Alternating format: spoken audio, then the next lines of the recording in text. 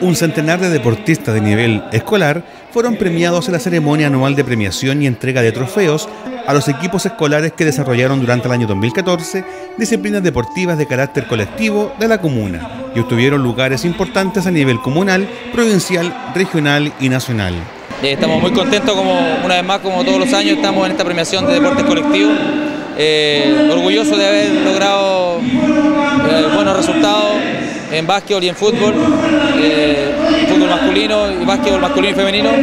Hemos ganado varios primeros lugares, estamos muy contentos y orgullosos del trabajo que hemos hecho y esperamos seguir de esta manera el próximo año con nuevos desafíos, nuevas metas y poder lograr mejores objetivos que este año. Eh, trabajamos con el profesor Michel Valdés también, que trabaja la parte del fútbol y yo la parte del básquetbol. Eh, trabajamos todo el año con grupos menores, para poder ir formando buenos jugadores, buenos deportistas para ya llegar a las categorías mayores y tener buenos resultados.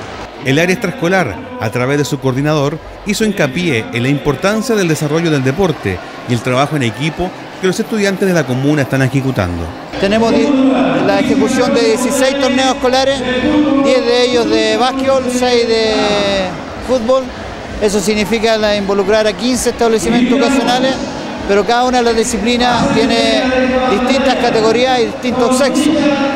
Hemos logrado la participación de 600 jóvenes en básquetbol, 550 en fútbol, un total de 150 partidos en básquetbol, lunes, miércoles y viernes, y fútbol martes y jueves.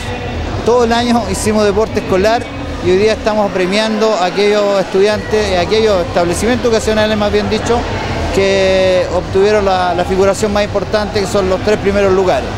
Estamos haciendo nuestro reconocimiento, eh, estamos entregando la medalla recordatoria y el trofeo al plantel educacional con el fin de testimoniar nuestro reconocimiento por la labor realizada durante el año.